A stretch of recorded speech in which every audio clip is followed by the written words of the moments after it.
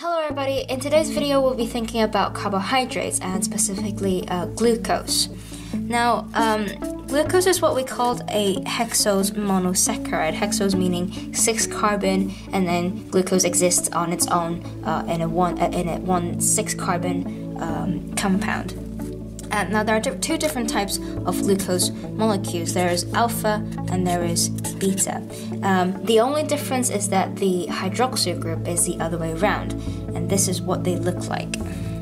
Now, as you can see, the only difference between them is the fact that um, the hydroxyl group are on different situ- uh, different places. So, if we think about the uh, molecule as uh, this is carbon one, and this is carbon two, three, four, 5, and 6, uh, the carbon on the first, uh, sorry, the hydroxyl on the C1 carbon, um, it's below the ring, and whereas in the beta glucose, it's above the ring. So again, um, this is the only difference between them, and that they can also form different um, uh, compounds, uh, sorry, different molecules as well, uh, and we will be looking at the specific structures of them. Now, glucose molecules form what we call glycosidic bonds um, uh, between the different uh, glucose molecules. Specifically, uh, there will be two types that uh, you need to know. One is uh, between carbon 1 and 4, and the one, other one is between carbon 1 and 6. Um, hence the terms 1 4 or 1 6 glycosidic bonds. Now, the way that they form these bonds are through uh, reactions called condensations.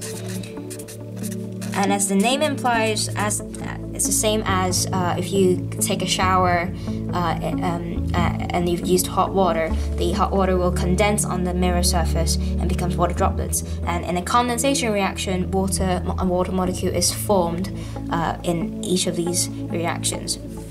So this is what we're called. It, this is when two glucose molecules join up together. So when they join up, also produce water molecule.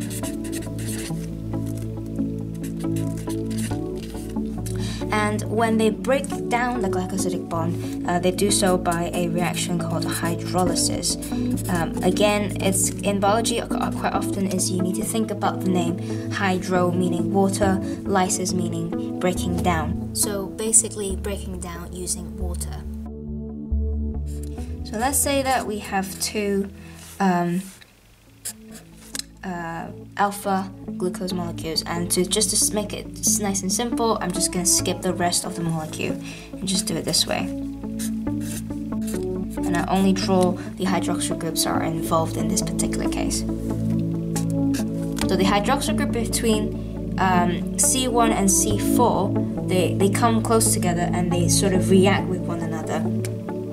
Um, and what happens is uh, one hydroxyl group will almost steal the hydrogen from the other hydroxyl group and then they go off and form the water molecule. So this is what happens in this case and this is what we mean by condensation. And so what you'll get in the end is a product that looks like this. So the hydroxyl group from this side steals the hydrogen from this this hydroxyl group and it goes off to form water and then the remaining oxygen in this case will then join up the two alpha glucose molecules together and this is what we called the um, uh, uh, 1,4 glycosidic bond here. And again, it's because it's formed between C1 and C4 uh, of the two molecules, hence why it's called 1,4 glycosidic bonds. Now, the reaction can happen in the opposite direction, um, and in this case, you use the water molecule to break so the water comes in and sort of then and there's obviously electron transfer here and then they join up uh, uh, uh join up with this glycosidic bond splitting them up into two uh, alpha glucose molecules again. And then this reverse reaction is what we call the hydrolysis reaction. And that's it. In a simple way that's how glycosidic bonds are formed and broken down. Now if this 1,4 glycosidic bonds continued on uh, for all of the alpha, other alpha glucose molecules, what you'll then end up is a straight chain. Now, there's another type of uh, glycosidic bond which is called 1,6, and uh, this is kind of how it's made. Now, in this case, the same way uh, as before, we have two alpha glucose molecules. Now, I've, again, I've only drawn the uh, hydroxyl groups are involved in this case. Now, compared to before, when we have the two uh, alpha glucose molecules sitting next to each other, this time we have one here and the other one that's kind of diagonally placed. But uh, even though they are placed slightly differently, it's the same concept. Uh, again, let's name the different um, carbon, number them rather.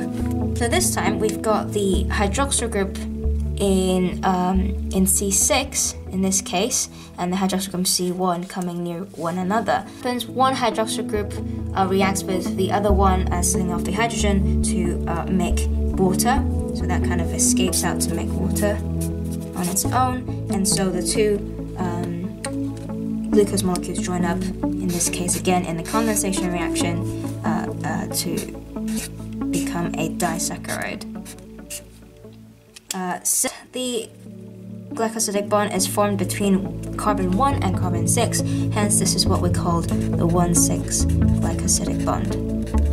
If you imagine that this continues on, um, if let's say uh, there's this molecule coming this way, and then there's one four glycosidic bonds forming on either side of this uh, glucose molecule. That means you get one straight chain with just one four glycosidic bonds, and the one six glycosidic bond then uh, allows a branch to be formed from that straight chain. So we say that one four glycosidic bonds uh, forms straight chains of glucose molecules, whereas one six forms branches.